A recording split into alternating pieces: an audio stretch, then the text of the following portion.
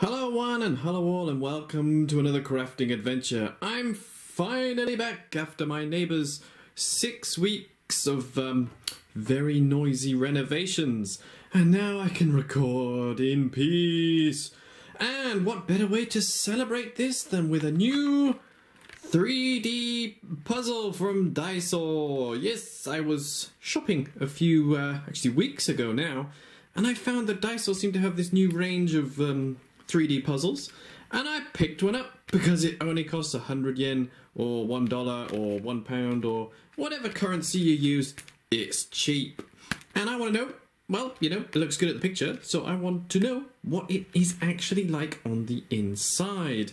Um, it seems to be, what, 9 centimeters by 8 by 20, so uh, that's quite big, I suppose. 82 pieces and no indication of how difficult it will be, but it does have the instructions printed on the back. Also, it's nice uh, still that they have this uh, Japanese and English on all of them, um, although the English is sometimes not so great. Please read to the Guardian. Okay, so you've got to read this to your guardian, whoever that may be. But without further ado, let's find out what's inside the box. And we have four sheets of pieces, I believe. Yep, four sheets of double-sided parts. Very nice. Um, they are made of that sort of foam material with a plasticky cover. And, well, that's about it. There are no separate instructions. We just have the parts. All right. So, we got to figure out what we have to do. First, we're going to make some spacemen, which are numbers 44, 45, and two 46s. Conveniently, right by here. Oh! Much like the uh, wooden kits I've been making recently, these parts... Oh! I love that noise. Pop out very, very easily. Put them down there, get the little base bit. Uh, even the small bits pop out. Alright, and how easy is it to slide them together? Uh, it would be easier if my camera focused. There you go. Boom! Spaceman number one. And... Lost focus again. Oh dear.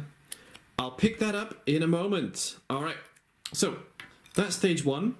Let's find out what we have to do next and prepare all the pieces. Alright, so first we've put these two pieces together in this lovely little shape here.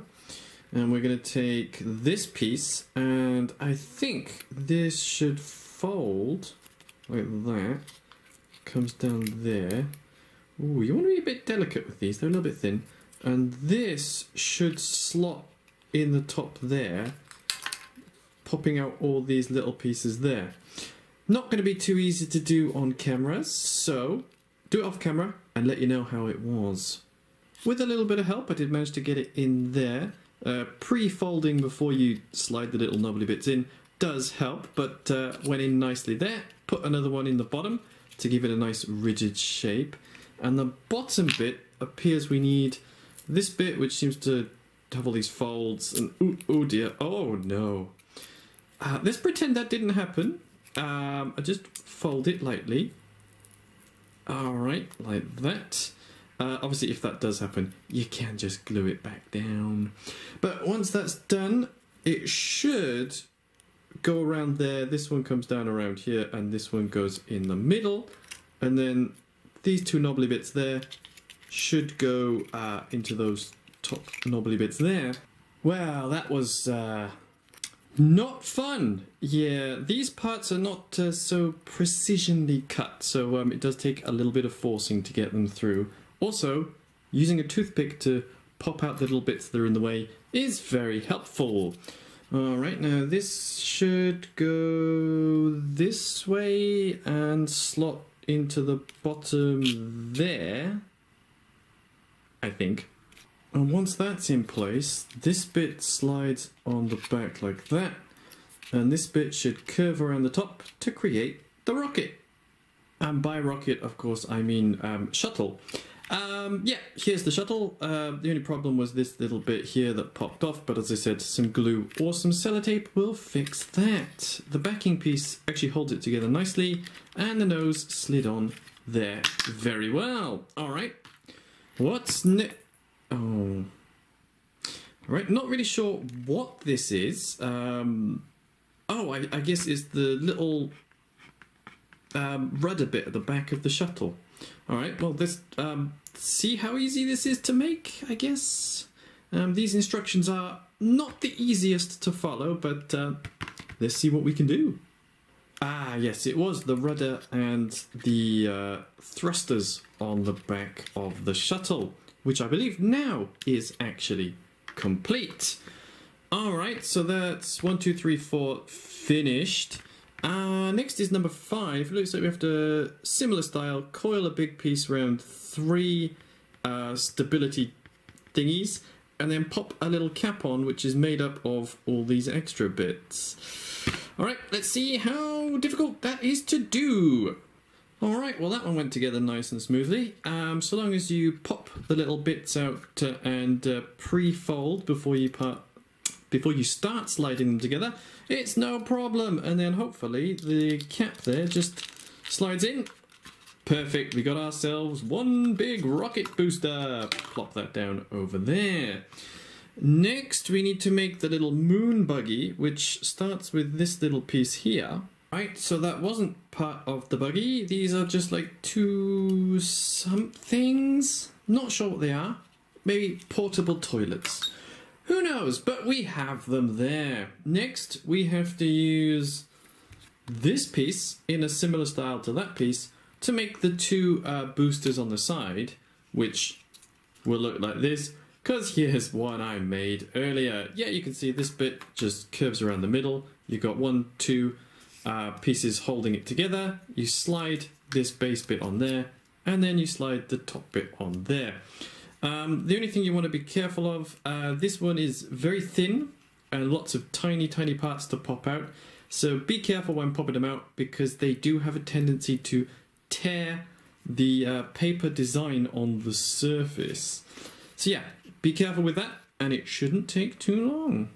Ta-da! Yes, we have the main parts all put together now for the rocket. Next we need to attach the boosters to the main uh, rocket here which we're going to use uh, two of these to attach them on the sides. Then, once that's all together, we're going to attach this bit to the shuttle using these little pieces here. Hopefully, when it's all together, it should come together something like this. Yes, you can see they have two attachments for each part, so it's all nice and sturdy. And additionally, the previously thought to be uh, portable toilets are actually things to hold the shuttle up. The little, the top bit there balances under the wing, so it's very sturdy. And with our little spaceman, boo, boo, boo, it's almost done. The only thing we need to do now is to make the little car. The little car seems quite easy. We just push these pieces down on the main platform like this. Uh, you want to be very careful with that back piece though there's a lot of little tiny bits to slide in. And it wasn't very easy, but once you're by here, then you just need to add the wheels and the little radar thing on the front. And once it's all together, have the complete set. Yes, you have your little moon buggy here. Looks quite nice. Little space guys, uh, space shuttle, and the rocket here on the back, which you can very easily whoop, disconnect if you want to make the shuttle fly by itself.